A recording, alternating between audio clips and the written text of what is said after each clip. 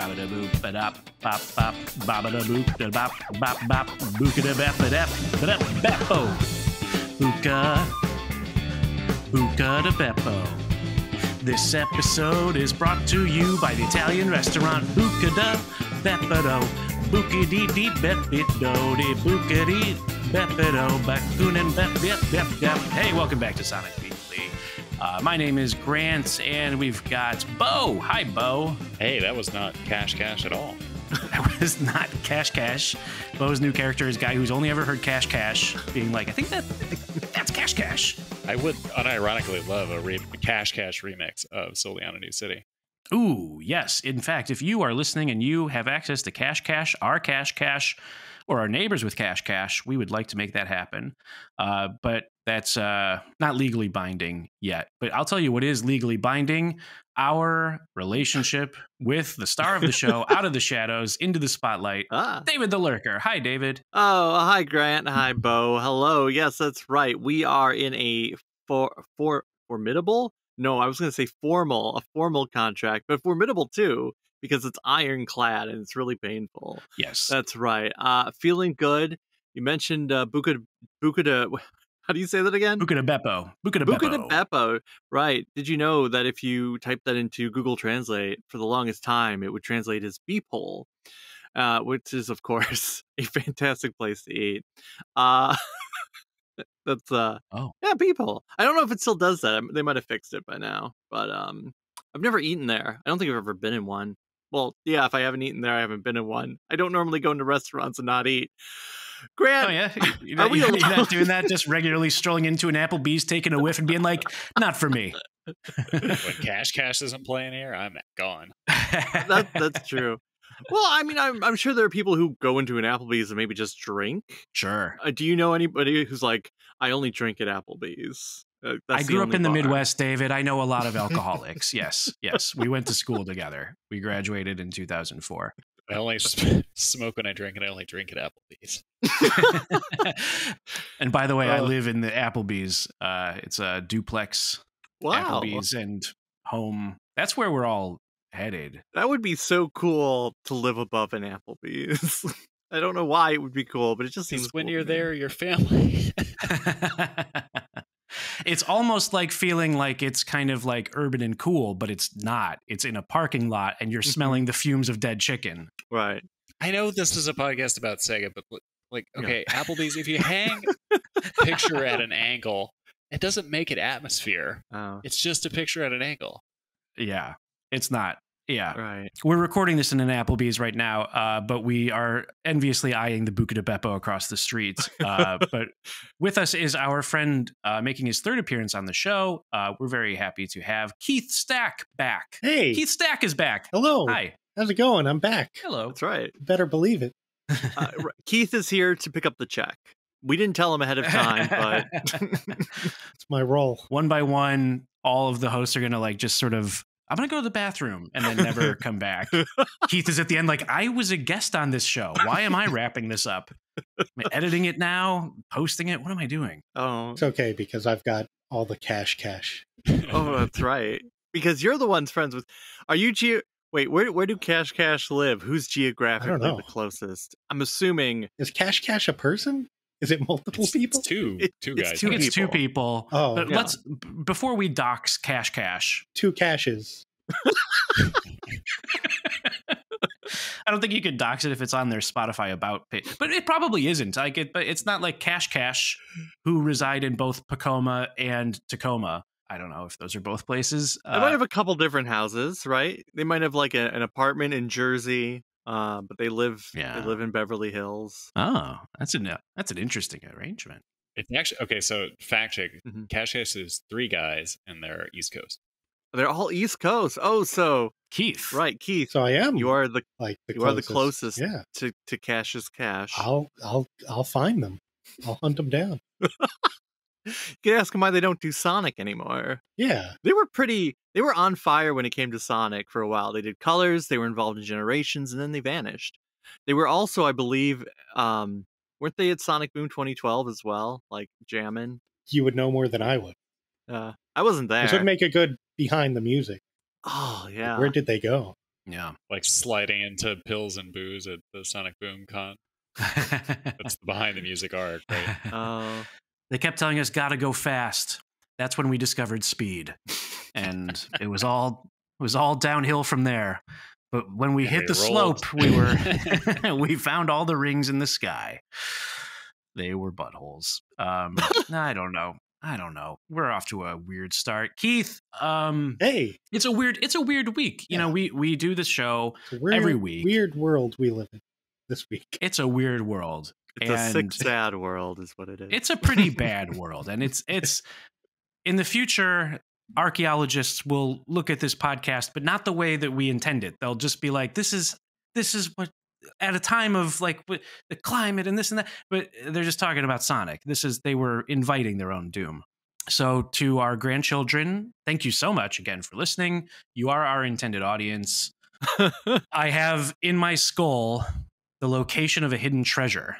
If you're able to find the hidden golden skull, Whoa. you can find the hidden treasure of the original, not reissued, not the not for resale Sonic the Hedgehog 1991 cartridge, which has got to be worth a pretty penny in the year 2030. Wait.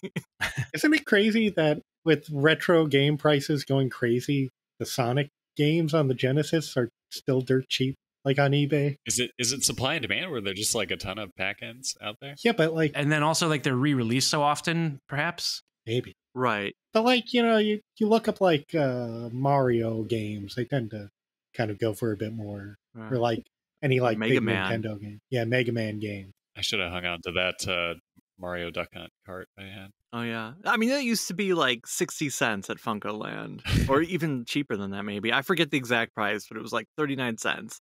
Like, wow, you could buy so many. You could build a house with them. And then somebody tries to sell it for a hundred thousand dollars, and you're like, no, you're lying. It's probably one of those things, right, where the collector market for video games will eventually, bu- uh, it'll pop, it'll bust, it'll explode, whatever adjective you want to use. There's so many. And then there'll just be a handful of games that are expensive and rare. You know, like comics, you know, there there was a big old bubble, uh 10 copies of of Superman 75, Death of Superman hoping, "Hey, this will pay for my kids' college fund." And you know what it did? It didn't do that. It it paid for uh nothing. Oh Probably, man, we a, talk probably a nice hot app at Applebee's. Oh yeah, it would it definitely would call cover a couple apps. Uh right, the the uh mozzarella sticks perhaps or the I've been um, getting into retro game collecting. I think I've met, you know, I've mentioned on the last couple of episodes that mhm. I've been getting into the GameCube, so I've been having the time of my life overspending on games that were in the bargain bin, you know, 20 years ago, like Sonic Riders, uh, which I paid, you know, close to, I don't know what it sold for. Was it a $40 game? It was- I hope it was because that was around It was probably a fifty dollar game. Okay. right? All right. Maybe I got a good deal on Sonic Riders. Uh, but I but a lot of the other games I've been paying like essentially full game prices. And I've been noticing as well as with the markups of like, you know, there's some games that are just like off limits now. I mean, you could play a ROM of it, but it's not really the same. Like Conker's Bad Fur Day was like $300 at this store that I went to. Wow. Skies of Arcadia for Dreamcast, which I have on Dreamcast, was similarly around 250 300 Ugh. at the same store. And I was like, whoa, that's weird. I'm never going to sell mine. You'll pry it from my cold, dead hands. Grandchildren. Never finished that game, but still never going to sell it. Never going to part with your, it. your grandkids will sell it though. Yeah. That's the treasure. Yeah. They'll be listening to this while they've put it up on eBay and uh, yes. or probably heritage auctions. They probably got it graded, sealed up in plastic, so nobody can actually play it. Yeah. That's okay because they'll find out that it was uh, it got bit rotted anyway at that point. So.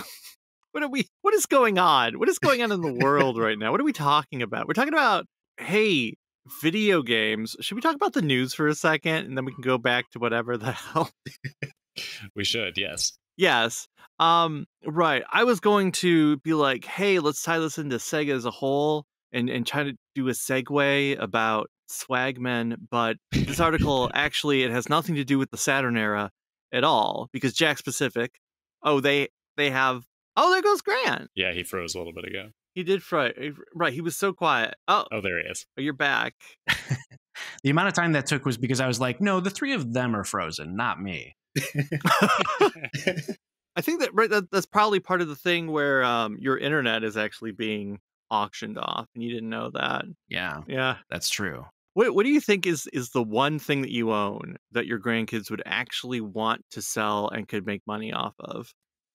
Okay, I'm gonna answer this.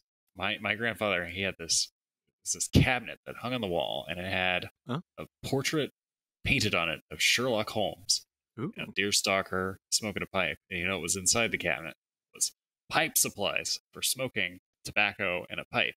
That's kind of neat. and that thing was super cool and uh, i wanted it and one of my goddamn cousins got it and, uh, Ah, oh man, you you should steal it back. yeah, this should be the plot of the third Knives Out. actually what i wanted was like a nice picture of it i don't actually want you know this thing in my house i don't smoke pipe Oh, yeah, I mean, i don't you- think any of my cousins do either no. The, who? Yeah, you you don't need it because you want to smoke. You you have it because it's it's Sherlock Holmes and it gives you the air of sophistication, and also it's a pipe cabinet, so you don't have to worry about all the cocaine that Sherlock Holmes also did because he yes, probably the 7% solution the seven percent right Eh, you know sherlock holmes all of it like all of the original stuff is in the public domain and it has been for a couple years now finally so you you could do do whatever you want with that we could make the third knives out about that well you know what you could buy that your grandkids will sell for a, a- an appetizer at applebee's jakks pacific apparently has a license for other sega properties none of them from the saturn which means there is no segue to Bo for this this news piece. Remember Axel from Streets of Rage and and the werewolf from Altered Beast? You know, Altered Beast, the game that you had before Sonic that wasn't a very good port. Yeah, you you can get those action figures now. People like Altered Beast. I'm being a little rude to it. Are we just moving past the thing of like what what thing your your grandchildren? Is that when my internet froze? yeah, I threw that out there. Bo told a think story, gonna and I'm you're gonna buy axel and then your grandchildren are gonna want that that's Oh, okay. how I, Okay. right. I, Well, I'm curious for I'm just curious for Keith's oh yeah. for Keith's answer. Oh, uh, uh, good. I, I bought one of those uh, uh Mario 3D All Star games that they Physically? stopped. Yeah, yeah, physically. Yeah. I yeah. figure I'll just never open it up. Oh yeah. A few decades, that'll pay for everything. I have um some pretty ugly early Mario and Sonic merch. Ooh. Do you think they'd be interested in that, David? Do you think they'll be interested in this ugly, useless garbage that I have? uh, they might, depending on the the qual the condition it's in. Bad, Oh, used. used like looking dirty. Heav- heavily dragged through parks and uh, other childlike Calvin and Hobbes type adventures. okay. Do you have the uh, the little Sonic that goes on a little? Was it a motorcycle? And he's holding a ring in each hand. Oh man, the ring! I had that. I don't. You know, I might have. uh, You know, at my mom's house Ooh. because I definitely did have that because we've talked about before on this show too that like Mhm. uh, we came of age in the 90s there was no sonic toys it was very hard to live you don't understand and that was definitely like that was a pretty good one you know when you compare it to like the one the gumdrop one and the mcdonald's fire butt one that one at least kind like the one problem with the motorcycle one is like his head is a perfect circle. It's the band of perfect circle. Remember them? His hand, his head is just circle, and his spikes are so so backwards that he doesn't actually have like a sonic shape. Is a weird bullet shape, or like a tooth shape. He looks like a tooth. perfect circle they how do they relate to cash cash again I think they, um, yeah, probably there will be a Cash Cash remix of a Perfect Circle Sonic song because a Perfect Circle will probably they'll probably take somebody from a Perfect Circle to do like the vocal track and you know Frontiers too. Yeah, yeah. Um. Hey, right. Um. I, I might I might own something that's expensive or not expensive. I'm actually not sure if anything I own would. Uh, you're not Especially to it or else somebody's gonna break in and steal it that, that's true. I can't let anyone know what I've got. Um. So instead, we're gonna say ding ding ding breaking news. We're moving on from whatever we were talking about before. Fair enough. Everyone here is excited for Sonic the Hedgehog 3. And even the, the crew, they're excited because, hey, filming finally wrapped. They get to go home and go to bed, which is great for them. Because I'm assuming they've just been on set awake this whole time and haven't slept. Uh, Jeff Fowler posted, and we are wrapped. And there's a, a picture of the clapboard with some drawings drawings of Sonic Shadow, uh, and Knuckles and Tails. Whoa, that's the cast. Spoiler. And uh, and then and Tyson quote tweeted it. What an absolutely dreamlike experience this movie has been so far. Can't wait for the world to see. Makes it sound like it might be good. I don't know. Dreamlike is subject to interpretation. I've Ah, yeah, yeah. not all my dreams have been great. Oh, right. It's not a proper clapboard. It's huge. So I wasn't really looking at it. Wait, is it a novelty clapboard? It's not a real. Hi- I mean, are do they make novelty clapboard? It's pretty large. Somebody did, or they maybe they just have like a giant director's assistant. Oh, that That's just looks, that could looks be. normal to him. It's like when you see a photo of the world's tallest man Mhm. and the world's smallest woman together, and it's like Yeah. this, you know, his shoe and her, you know, that photo. Yeah, they were married. Yeah, yeah, yeah. we- We can we can picture it. yes, and uh, there's other Sonic news that we. Uh, I wonder what Sonic news will come out this week, right after we finish recording, because that seems to right after we finished recording last week, the Sonic Toy Party with basically the same logo as Toy Story, but with Sonic, right. was leaked by the Sonic Show, which is the YouTube channel with the animated cartoon raccoon uh, host. Right. Oh yeah, that guy. Is it a cartoon raccoon or is it just photos of a raccoon? It is photos of a raccoon with, let's say, cartoon eyebrows. Okay. I yeah, okay. You know, there's there's a degree of animation. sure. Keith is an animator and an artist. Uh, you know, That I- is if- true. If you're, it, I would say it's mixed media. Yeah. It's still a cartoon. Do you think it's how would how should I have described it? I would just call him a raccoon. Okay, you think that's what ra- like real raccoons are like? Uh, pretty much, Right. just about. Shuffling through the trash, and that's where they found the footage. The Sonic Toys party. Haha, zing, got him. Zing zing, bazinga! I don't know who I got. Okay, it's it's it's supposed to have 32 characters, right? And then the thing I saw, it was just all the same four characters or five or something like that. Yeah, it's unclear if it's like, is it really a different character? Or is it just Sonic wearing a hat? Yeah. And does that count as a different character? Unclear. Because yeah, it was just Shadow. So I think if you're gonna have 32 at a time, you gotta like Right. Yeah. break out, gotta break out Luppy Man. yeah. So, what is this game for people who haven't seen the uh, leaked footage? If you're familiar with the game Fall Guys, it's uh it's a similar competitive online, maybe free to play. We don't know. No. Uh, but it's little courses, and then more people get eliminated. There's one winner in the end. I guess that's fun. How does it relate to Fortnite? This is like revealing my depth of understanding of modern games. So. Yeah. Fortnite's fun, and this looks questionable. well, I, I guess to be fair, the the Sega like the Persona leaker, uh, i- were their na- is their name Midori? I I can forget now. They did go on record before they retired from leaking forever that uh yeah this this was a build from last year that it's moved on since. Somebody also posted a, a random screenshot from a different trailer, which also included characters like Zavok. Oh, Everyone loves Zavok. Um, so I guess trying to make Zavok happy. they, they really want to. They've been trying for a decade and it's never going to happen. Um, There's got to be one kid out there. One kid, yeah. yeah, there's one big Zavok super fan, and this is this next joke is for you, Zavok super fan. Hey, did you hear they're uh, they're gonna make a, a Sonic Heroes remake? Supposedly, this is a rumor with no basis in like anything that we can point to as like a fact. It's just somebody saying something, but they want to make it Mhm. in Havok, and so they they're gonna bring in Zavok in Havok. that's a that's a good joke.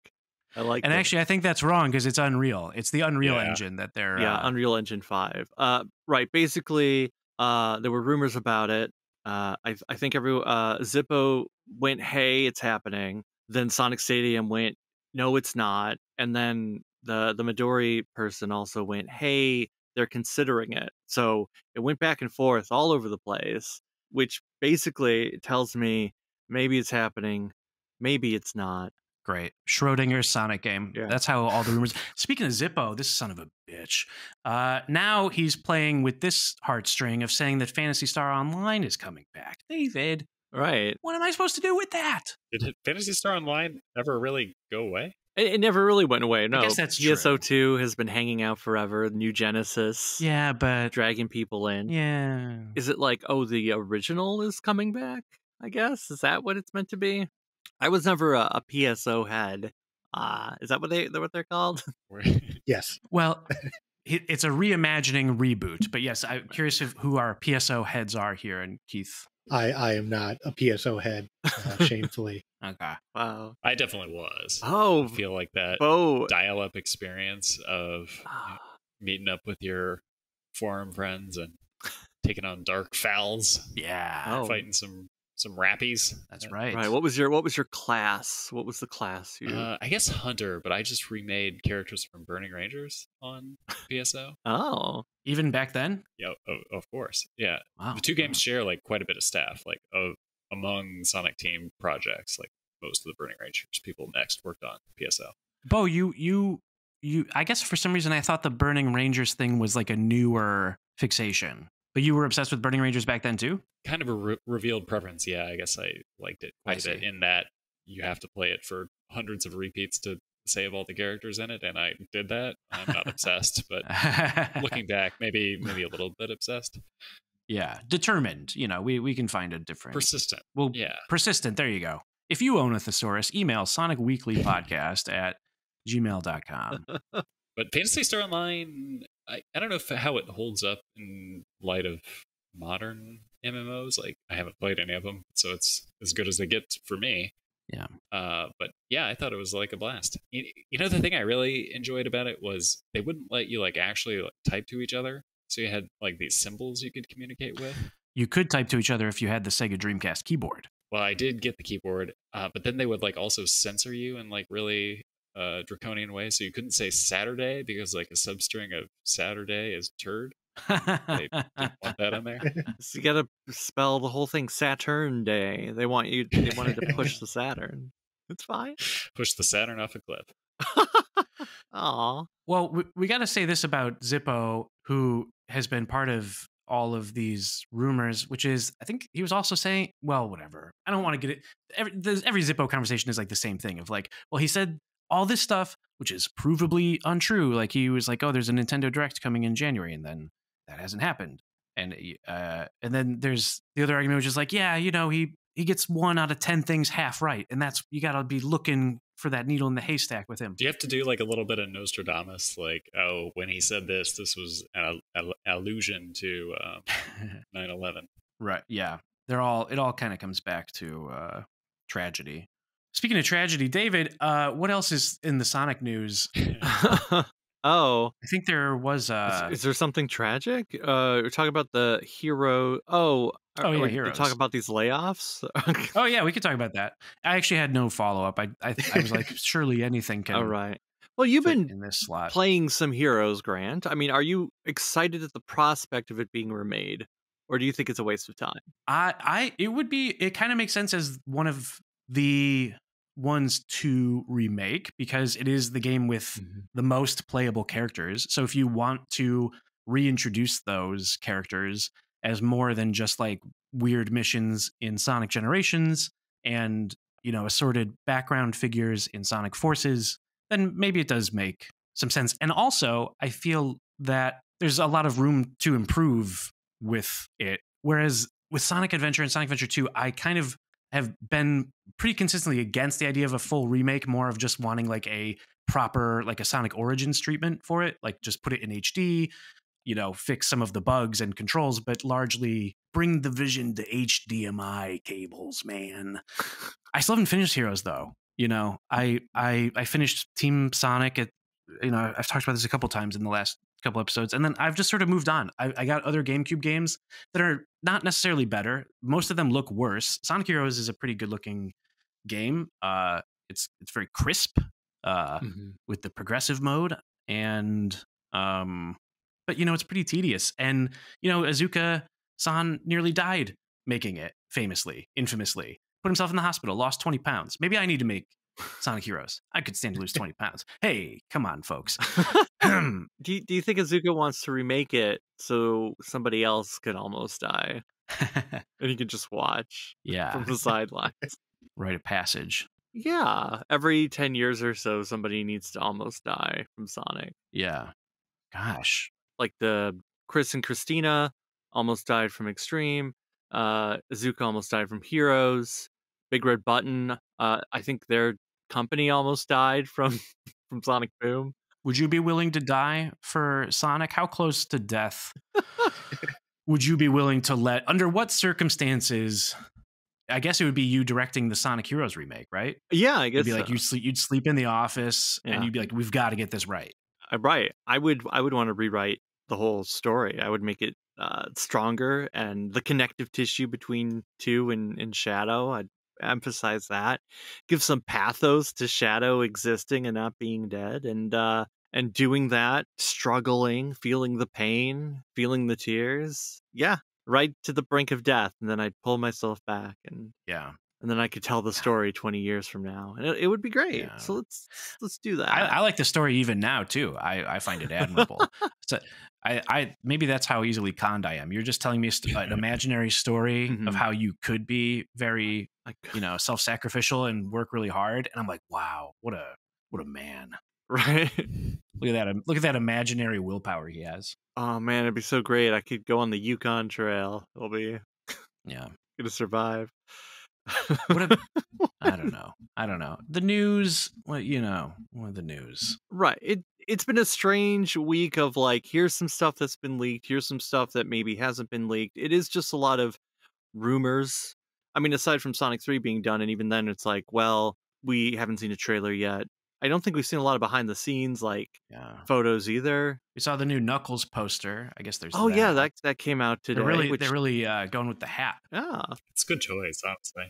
You know what we were talking about a year ago? On this very date, it was published. ooh, It- we were talking about the DLC that was coming to Sonic Origins and the first wave of DLC to Sonic Frontiers. That was one year ago. This was not yet the birthday bash. This was the Easter one. Yeah, that's right. oh Yeah, yeah, the Easter Cocoa, the springtime Cocoa, right. and and that's when we got Action Chain Challenge. I think. Whoa, No, no, no, no, no, That was no, second one. no, no, no, no. That was two. That was update two. This was the music notes. This was This was the Choose Your Own music soundtrack. notes. Yeah. This was the jukebox. You're absolutely right. That was a year ago. wow. In that time, David has fathered so many good ideas in this, and you can listen to them in each episode. Didn't know where that was going to land. right. Yeah, sometimes I start a sentence and I just don't know where it's going to go, and that's part of the fun of talking. Well, if somebody could go through every episode, write down every good idea I've had, and then email it in so that I can remember what they were. SonicWeeklyPodcast at gmail.com. Yes. That's right. Hey, hey, speaking of Easter, has anybody here bought any of the Sonic Easter toys, which apparently are at Target? What what are they? Give me, give me the list. What makes them Easter? Um, it, there's a all right. There's an Easter Sonic, there's an Easter Knuckles, an Easter Eggman, an Easter Amy. So you got the Easter Tails, and then uh Pocky with uh with an Easter basket. Pocky makes sense. That makes sense. But wh- what makes the characters Easter? Oh, they got uh, they're colored differently. Oh, like like an Easter egg? Yeah, they're kind of like, more pastel. Knuckles is pinker and Eggman's wearing a slightly different uh, colored uh, jumpsuit. Pastel colors. They are Yes, soft past- purple, pinks, blues. Uh, S- Sonic gotcha, Scott's. gotcha. So they didn't put like Easter egg patterns on Eggman? There's not like polka dots. Yeah. That's I mean, a great Eggman idea. sort of has a, an Easter egg design on it. I'd I'd say, Does he? yeah. Let, let me see if I can. Uh, Eggman with an Easter egg design does work, actually. I was just like I'm using Google, and, and Google takes me Yeah. to shopping, and I'm like, thanks. This works. Oh yeah, okay. Yeah, he's got like the um Charlie Brown uh pattern across a pink bodysuit. He kind of, you know, yeah, okay. I was going to give an opinion and then I'm just not going to say anything. Right. I'm just going to observe it. Here's an eBay listing. Somebody's selling all six for um seventy six dollars, which seems like a bit too much. Uh, the the listeners can't see it, but it is. It, it's for the purpose of us here, so we can react. Look at Knuckles; he's pink. Look at Sonic and Tails; they have bunny ears. Yeah. Tails is wearing a green shirt. Yeah. I don't know. They look neat. Tails is cute. Yeah. Amy's cute. Eggman's pretty cute. I mean, Sonic's pretty good. They- They're fun. They're pretty fun. hmm Um, six figures, $76. Act now, ebay.com, or Target, as you mentioned. Right. I think Target's probably the, easier place to go. But on eBay, it says you can get a two year protection plan from Allstate with it for only $10 more. Seems like a pretty good deal to me. Yeah, Keith, tell me one of your most cherished Easter memories, assuming you've ever celebrated Easter. uh, I mean, I none jump out at, at the top, off the top of my head. I mean, Oh. they're all pretty pretty uh, cherished. I mean, I like candy. Okay, I would always get a you know a basket with candy. And personally, if I ever got like a basket with Sonic toys in it, that would have been like Yeah. the greatest Easter ever. Yeah. Uh, So I, I get why they made these. Like imagine sticking one of these in an Easter basket, That's handing it to a small child. Imagine if they had to like go find it, imagine if they had to find it, and there's just the do- joy of open an egg, inside is an Eggman, and the Eggman looks oh, man. Eastery. That would have been great. That would be magical. I've I've got two Easter memories, two Easter memories for you. One relates to a previous topic of this podcast, which is Goosebumps. We had uh, Chad on here the- Chad Quant. from the Goosebuds podcast. Uh, when I got the How I Learned to Fly Goosebumps story, 1997, A plus, one of the best Goosebumps. Go read it. And second one is speaking of my cousins, as we were earlier. Grandfather thought, okay, we're gonna put the Easter baskets out of reach of like the, the really small cousins who are crawling around. Don't want them. So he puts a, puts the Easter baskets on the ceiling fan. And you know what happens next? Somebody comes in and says, "Hey, it's really dark in here." Flips the switch. Guess what? Fans on. Easter candy everywhere. Oh, that's great. It's raining candy. It's like cloudy with a chance of candy. That's the name of the movie. I was sitting here and I went, oh, yeah. Well, wait, Grant, do you have any beloved Easter memories before I, I tell a story about how I got screwed over once on Easter? I th- that would be my new favorite Easter memory is hearing your story. oh, okay. Right. I, I, yeah. Okay. So, so when I when I was a child, when I was very when I was a small child, not a big child, uh, our our extended family, of course, would have an Easter egg hunt at whatever house, uh, and there was this thing called the golden egg, and the the golden egg was a special. Well, it was an egg painted gold. If you found it, oh, you'd get money. So all the older kids, you know, they'd want it because they they would get like 10 15 20 bucks and, and back in the early 90s that was a lot of money. You could like buy a house with that or something. So the older kids the older cousins who were teenagers or thereabouts you know they'd find it they'd demolish it. Uh, one year hey i'm a kid. Looking for those eggs i found an egg. It was a blue egg but it said the golden egg on it and i got really confused. The go- the word golden egg was in gold but i'm like uh, okay. It says it's the golden egg. It must be the golden egg.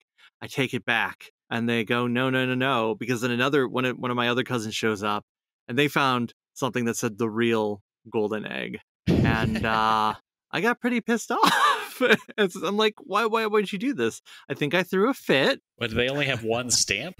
they Like- used glitter uh, or something to like write the word on it so it was sort of fancy they're like hand drawing these. Yes. a lot of labor into these eggs.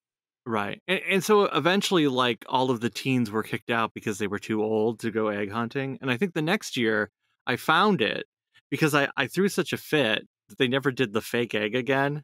and and when I found the real egg, I, I remember them giving me like five bucks. And I was like, hey, uh, I, I know last year it was like 15. And they were like, no. Or I think they told me they, they gaslit me and we're like yeah actually no last year it was like three dollars you get two extra dollars or something and i'm like no, I, I don't think that's right i think you're lying to me first you screwed me over with this fake golden egg now you're giving me less money than you know we're dealing with inflation here and you're trying to cut my wages.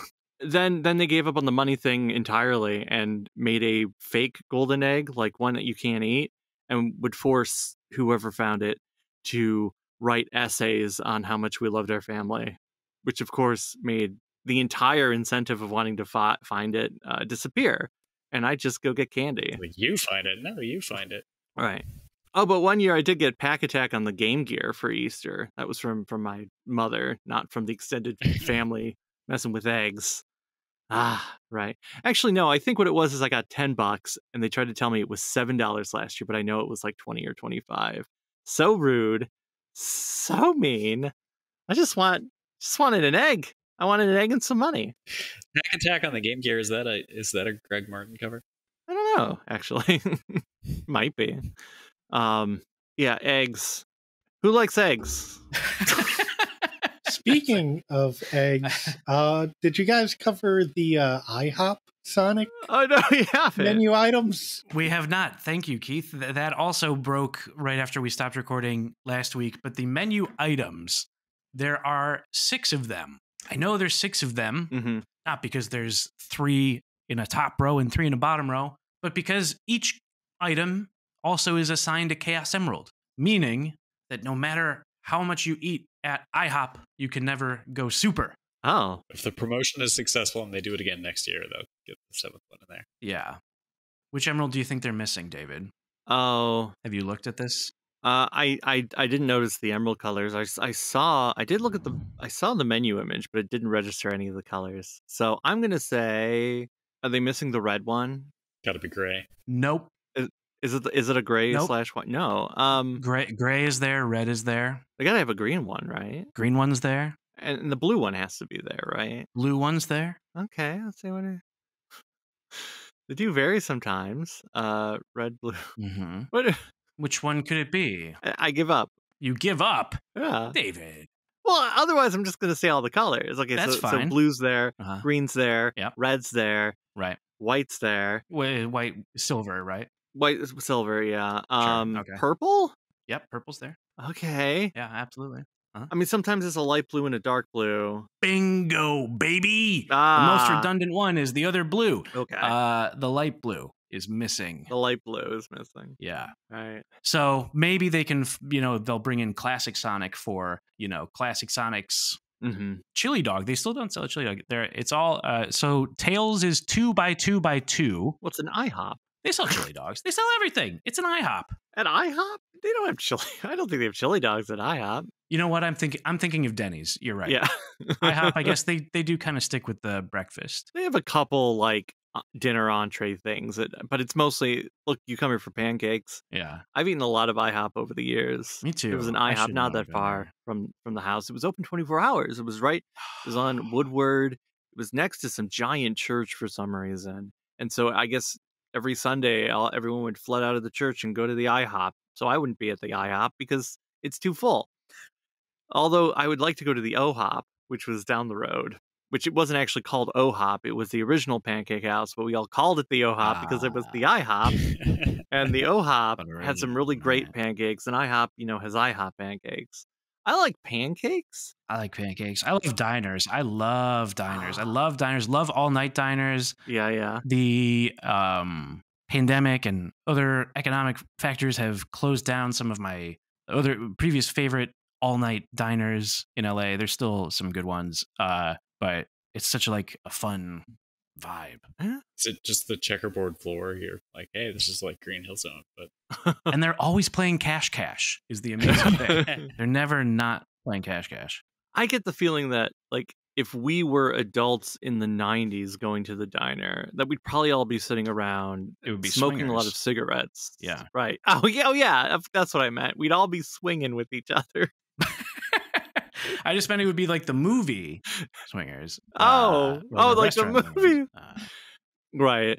but also, there, yeah. there is a part of me that is nostalgic about people smoking in restaurants, even though, like, it's it a was bad, bad. Yeah. It's bad. Like, you don't coffee really and want cigarettes. coffee and cigarettes right i mean when i when i did come of age is that is that how that you describe it like you could still smoke in restaurants and Yeah. bars and stuff but now now no they got rid of it all by My first job was my Yeah. parents owned a diner in uh it's still there, the uh, oh Sylvania Diner in Ohio. Shout out to whoa that. Sylvania Castle, Sonic 4. Sylvania Castle, that's right. It all connects. We're still talking about Sonic technically. and yeah, there was a smoking section, smoking and non non smoking section, which is crazy. Mhm. Crazy, crazy, crazy. There's no what a, what a joke. A non-smoking section. in a place Right. with a, which has a smoking section. The whole place is covered in smoke. What are you talking about? you just got a non-smoking section because you're like a foot to the left. yeah Well, I mean, that, that is that how air works? It doesn't circulate. it's all in one spot. This is a very original observation about people smoking on yeah, let's- airplanes. Let's, go back to guessing the colors again. That was good radio. well, we're going to talk about Sonic 06. Okay, we're going to talk about backlogs. We're going to talk about Sonic 06 because Keith has been playing Sonic 06. We are a very Sonic 06 uh, welcoming Mm-hmm. show that we started with that episode. Keith, uh, when we were DMing, you mentioned that DMing is uh, means direct messaging. So we were text chatting. Why? Why do we? David and I both do this. Why do we both stop? Just Smoovies keep it all in. They the, the public needs to know. They need to know. Uh, okay, but we the show has been a sham. we were talking, and you have been playing Sonic 06 again. I have. Uh, tell us about that. Well, I, I just wrapped up uh, playing a whole bunch of Metroid Dread, and I managed to beat Metroid Dread on Dread mode, which is the mode where, like, if you get hit once, you die. And I was feeling pretty accomplished. But the issue with that is that Metroid Dread is such a, a finely polished game and uh, it's so perfectly crafted that you, you can't really feel that much of a sense of victory for besting it. and so I was like, I need to follow this up with just a not polished game, like Something little something I can feel earth. like a real achievement over conquering.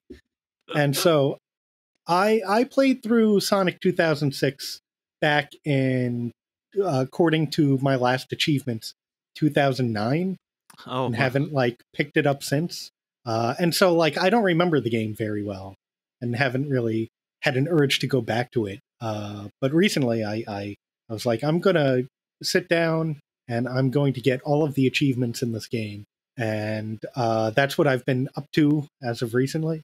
Uh, and I just beat Sonic's story again, getting started on Silver's story Ooh.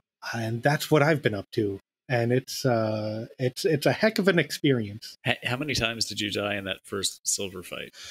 Oh, so many times uh, until I realized like the trick is to like avoid him a- until he starts lifting something up. He says like a line, He says, "How about you know, this?" he's he's lifting. Yeah, yeah, and that's when you can go in for an attack, but you have to run away.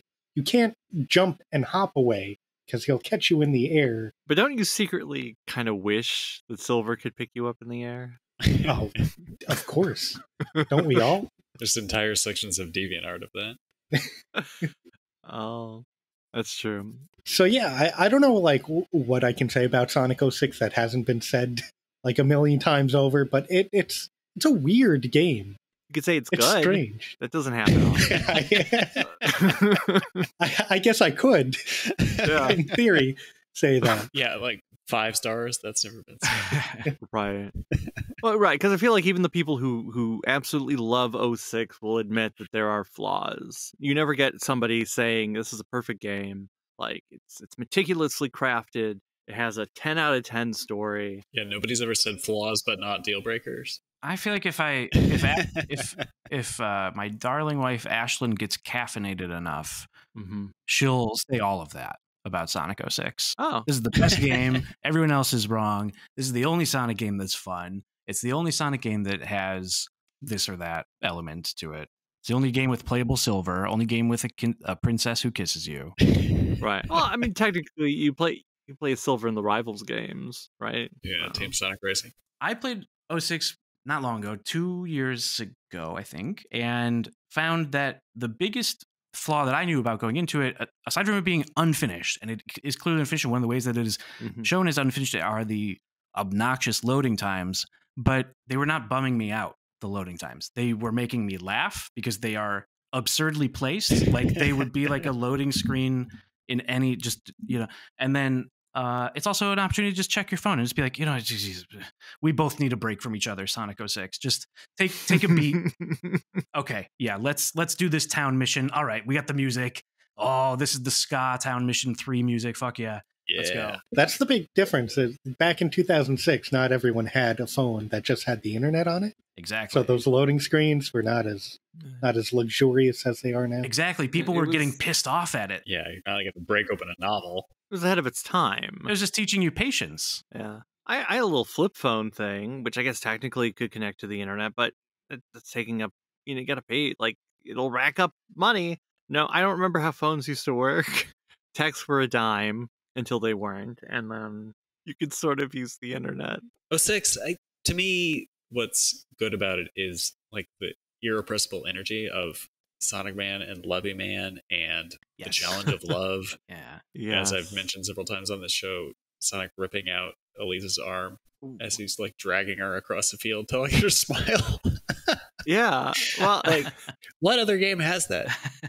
yes, it's exactly. It's it it is it, it you know it's a big expensive giant corporation piece of mass media, but it does sort of feel like outsider art in some ways because it is Just, just the. you talk to the guy. He says, "I've found a new way of combining."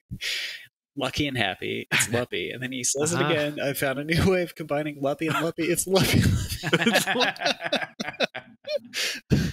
Who I wrote want to know. that?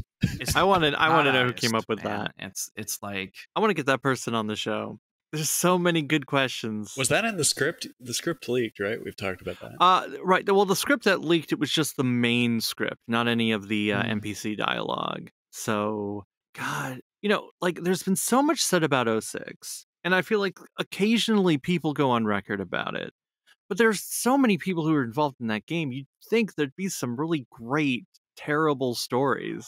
And by terribly, I'm terrible, I mean terribly great, like about the making of it, about the rushing of it, like what was decided, what was what needed to be there there's so much about this game that we don't know anything about. Naka leaving? No, I yeah, just you could probably talk about Naka leaving. That that seems like it's three chapters of a book right there. Like what where what happened? Oh, I yeah. We gotta pitch that to somebody. You know, we've heard about Sonic Heroes almost killing Iizuka, right? hmm Like, how many people working on 06 experienced that, do you think?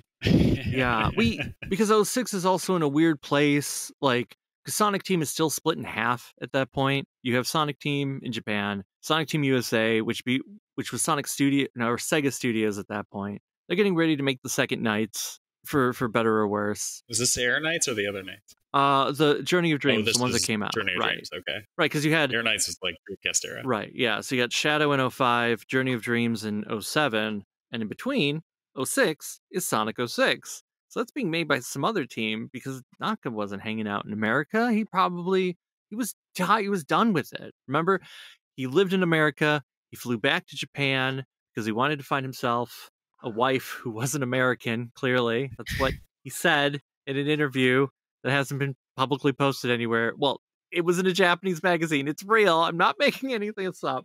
So he's probably done. He's done with living in America. Like, what was the breaking point for him? Because also we know Sonic Team was working on Phantom.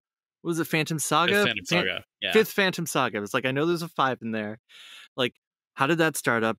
How did that die? Where did Sonic 06 fit in all this? You know, people say, oh, the silver gameplay was taken from Phant- Fifth Phantom Saga, but like, does that fully align? Because I feel like both games did exist at the same time at one point. So, like, what? And then what? What made Naka go? I'm done, but then still somehow convinced Sega to fund Prope because I think Sega was one of the primary funders of this spin-off. So so clearly whatever he did, he was like, screw you, I'm not making Sonic, but pay me to make other games not under Sega. And they went, sure, here's some money. Like, I, what is the story? What is there? El- Elise. Yeah, I feel like the Fifth Phantom Saga story Yeah. that that's a shoe that has not yet dropped. No, I, I want to know what was going on because it seems like it was a lot of nonsense all wrapped up. Well, And that's what gave us this game. to me, it feels like they're also like trying to cycle through different technologies. So, like the the big marketing for 06 was like, no, this is the one that's got the Havok physics. Like you never physicked in a in a game like this. Right. And then they like the the video has like the homing attack, and you're like, oh boy, it looks like gravity accelerated there or something. I don't know. And then Fifth Phantom Saga was like a showpiece for like an Nvidia graphics chip of the era, or like a chip that Nvidia Nvidia ultimately bought. So it's like I don't know, like a bunch a bunch of technical experiments that sort of fit together into a game. yeah. I mean that is kind of Sega's motto sometimes. yeah. I pulled up Wikipedia because I wanted to see if that had just say anything about Naka. And it and it just said Naka said he resigned because he didn't want to continue making Sonic games and instead wished to focus on original properties, which I feel like I've read that before, but it, always it seems a little off to me because I know there were a lot of Sonic games between Adventure and 06 and Naka was involved as a producer to some degree or an executive or whatever. But he was working on other things. He was working on PSO. They mentioned Billy Hatcher and the Giant Egg, like that came out. It, it seemed like Naka did have his fingers in other pies, and it just seemed like to leave in the middle of a game instead of saying I'm going to stick this through and then leave seems odd. But also, th- they include this quote that says, "With his departure, quote, the heart and soul of Sonic, end quote, was gone," according to former Sega of America CEO Tom Kalinske.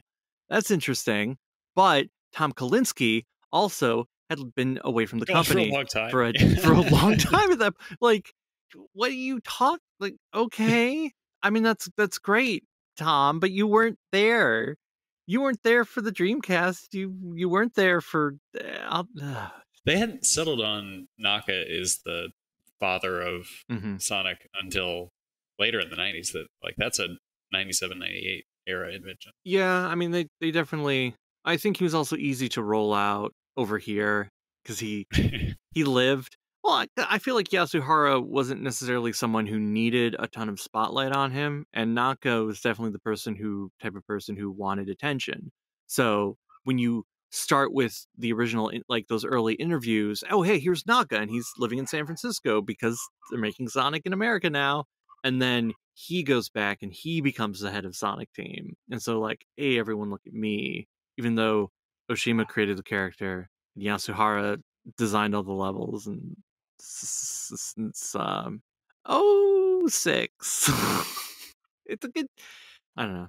I've i've become far more gentle gentler on it over the years. That's all i know. And i mean i still I, i'm sure i've said this a hundred times. I feel like i said it in the first episode. Yeah oh six you know it's not as bad as i used to think it was Yeah, it's it's it's not as painful playing it now as it was when I first played it. You know, all the Mhm. you know all the anxieties about like what this is doing to my favorite video game series. It's like it's all in the past. It's, it's just this weird chapter in Sonic the Hedgehog, and and I've I've been having a lot of fun playing it. It's a very weird, strange game. mm-hmm. Like I, I was reading up and like uh, uh, leading up to the game, they were talking about how it was like a, a reboot of or a reimagining, or it would like set the precedent for what Sonic is in the future. And for some reason, it's like in Venice. They they decided that is the the setting that will define Sonic, and yeah, medieval castle in Venice. Yeah. yeah, That's, that makes sense to me It's cool though looking back to the, it though because like every other game is like kind of doing the same locations, Green Hill, Chemical Plant, you know, sort of since then. Uh, or you know, but it, it so it's it's very it was odd at the time. It still sticks out as weird.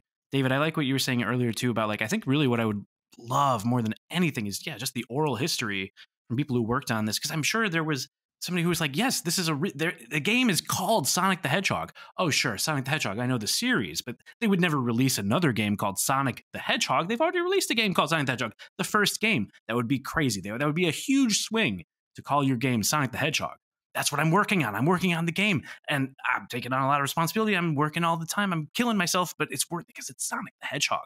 People are going to love it. That's what I want. I want the true oral history. There's gotta, it's gotta be, there's gotta be somebody who's willing to spill that tea, right? And I think that they maybe maybe we need to do it because they need to talk to somebody who like like you said Keith it's fun. It is a fun game. It's not good. No, nobody would accuse it of being good. It's not finished. It's obviously unfinished. It is like, you know, it's frayed at the edges, but it is uh uh uh it's got some weird ideas. And that alone is worth the and then and then it kind of it kind of plays like Sonic Adventure. And it's taken everything from Sonic Adventure, but it like has expanded it. It's times it by three, including the amount of bugs and the ability to like fall through the floor and walls and stuff. Like you get all of it tripled. Right. Oh, that's what was missing from the game. Bug. The character, Character Bug. bug. faster than Star Sonic, Bug and Bug 2. canonically faster. Right. They could have had a mini game. Yeah. Bug races Sonic. Have Sonic race Bug. It's synergy. It's Sega G. Is that a word? Sega G? They've probably kicked that around. Yeah, it's definitely a word. right. I'm sure there's a better way to do that. Workshop it. Some internal presentation. Yeah. oh God. You know, uh, I've probably mentioned before the thing that 06 has going for it, the other games don't have going for it, is uh, Zebrahead. Yes. And I know I'm known for only knowing Cash Cash, but the other band I only know is, is Zebrahead. Yeah. Saw Zebrahead at my very first concert. They were second on the bill, Wow. and they were great, and they have been consistently great since then. Good job, Zebrahead. That's awesome. The whole soundtrack is amazing. Uh, his his world is a great lead single. hmm Uh, uh, Shadow has a great theme song. Silver has a great theme song. All of the stage music is really fun. I really like all of it. Uh, but Radical Train is really fun and Aquatic Base. Obviously, Soleanna New City.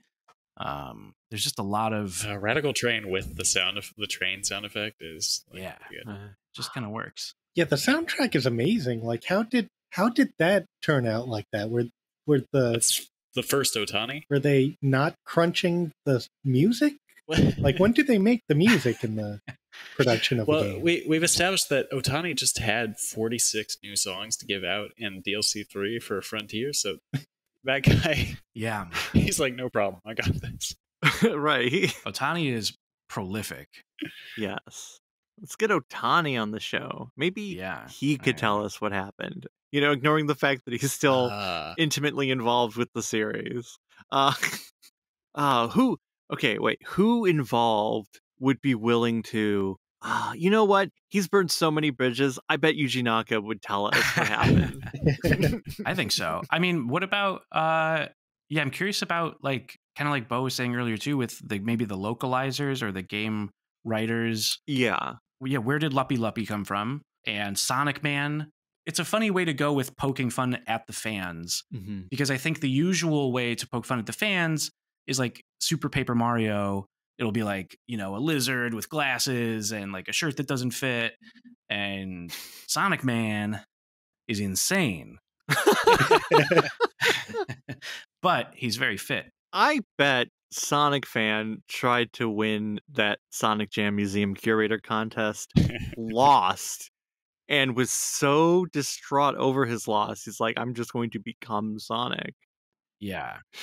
That that's part of my head headcanon now. He would be on that MTV show where it was like, I forget what it was called, but basically it would be people who would get plastic surgery to try to look like, you know, Christina Aguilera or something. Like, I'm a big Christina Aguilera fan. So Right. got a Uh, bunch of surgery and now I look like Christina Aguilera. It was True Life, maybe? uh, was that Teen Mom? Not Teen Mom. Oh Mom. no, uh, right.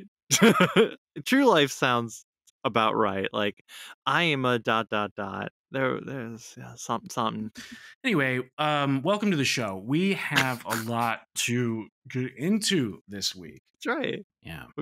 We got a guest. We have got a Keith- guest. Keith John Stack. hey, how's it going? Hi, Keith. Great to be here. Right. Keith, do you have any like anything you really want to say before this ends? Like something that was really on your mind about Sonic or a topic about Sonic or a topic about life? Did you want to tell us about anything? Oh, uh, oh goodness. Uh, uh, what? Uh, uh, in my quest to get all of the achievements for Sonic 2006, Right. I came to the realization that achievements used to be a lot harder to get in general Yeah. than they are nowadays. At some point, I'm not sure when. Like, Which which one do you think is most out of reach for you right now? I mean, I guess wha- uh, there's one that's basically like when you get all the everything, all the gold medals for S ranking everything. Yeah, I guess that would be like Yeah. the final, you know, most difficult out of reach thing. That's an absurd requirement. They they they really make you ace this game. They really make you, you they force you to be a pro to beat this game. But like nowadays in like Sonic Origins, you don't even need to beat all the missions to get all the achievements in that game. No. Uh, Any any any modern like the, I played the the most recent Ratchet and Clank and like in that game like there's a whole second like new game plus thing and there's no achievements related to that. You don't need to do any of that to get all the achievements. Uh, uh, I guess I guess the the other thing on my mind is uh, 2006 was also the year that Bomberman Act Zero came out. Wow. Yeah, and they're I feel like people have have forgotten about that for some reason, and I, I think people should be reminded yeah. about Bomberman Act Zero. Yeah, Bomberman yeah. Act Zero was It was a, a heck of a year Heck- for yeah. long running video game franchise. I feel like there were some comparisons at the time between 06 and Act Zero, like, hey, beloved franchises rebooting, grittier and realer. Did you play Act Zero? No, no, but Oh. now I'm I'm very tempted to get it just because I'm on this roll with the Yeah. you- infamous Xbox. I have the 360 set up. right. Nice.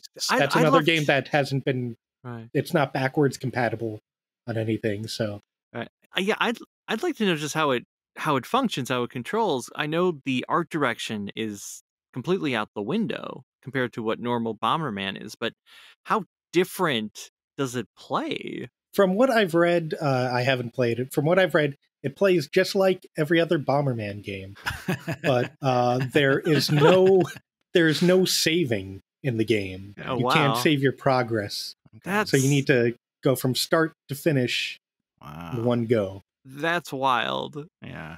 In the in the year of our Lord 2006, you couldn't save. There's a hard drive. I remember this also being fodder for the console wars of that era because the Nintendo Wii was not 2006 but 2007. I think we established on a previous episode it was 06. Yes, It was 06. tail end of 06. Okay, because the Wii brings me back into gaming and aware of both Sonic 06 and uh, Bomberman Act Zero, and and associating that with being like Xbox games of like this is this is what the gamers have done. They've taken their Halos and they've Halo Bomberman and they've Haloed Sonic, whereas Sonic and the Secret Rings is great. Showed up for that one day one. It's not great. Um, we've had a previous episode defending it. It has its merits. Uh, so does Sonic 06. I'll throw in my merit for Secret Rings is it's a really great uh, party game collection. Yeah. Mini games. They're actually good, fun We You're totally right. mini games.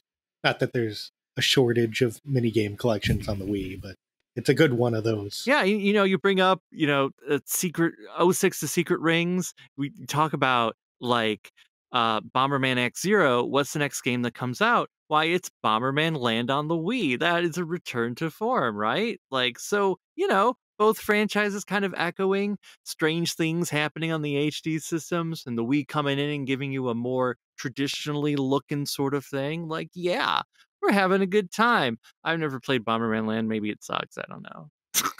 Well, um, yes. uh, well, well, well. wow. What else is there to be said?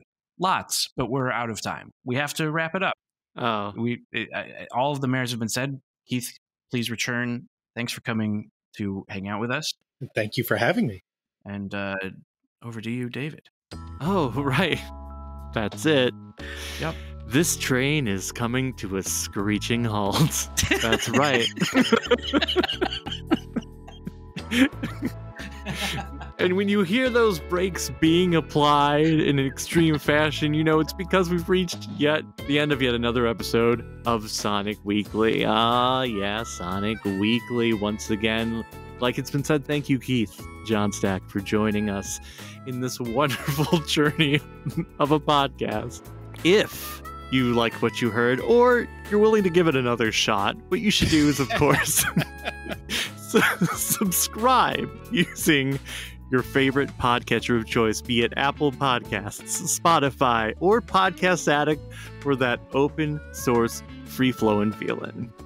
Uh, if you don't want to use any sort of podcatcher, though, we do have these episodes also over on YouTube at Sonic Dash Weekly is the username, which uh, includes gameplay footage from Jack of Old Games, who has been on this show more than once and may return one day. I don't know. After he hears this, he might say thanks, but no Wait, what, what, what's so bad about what? what? We, we're just at time. It's not that you did anything necessarily. It's just we're just at time. Bo's got to go. Unless Bo's done, Bo does you got to to- go, right? I gotta, I gotta go. He's got to go. I you know. gotta go. So we, we gotta just get you know. Yeah.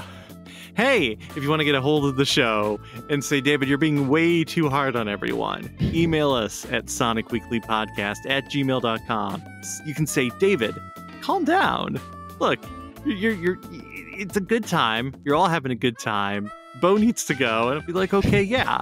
And then you can also say, send me a link to that Discord server. That's right. It's the only way to get into our server. Ask for the link, and you can talk to like minded Sonic the Hedgehog fans about Sonic and other things. Just like the other things we love to talk about on this show.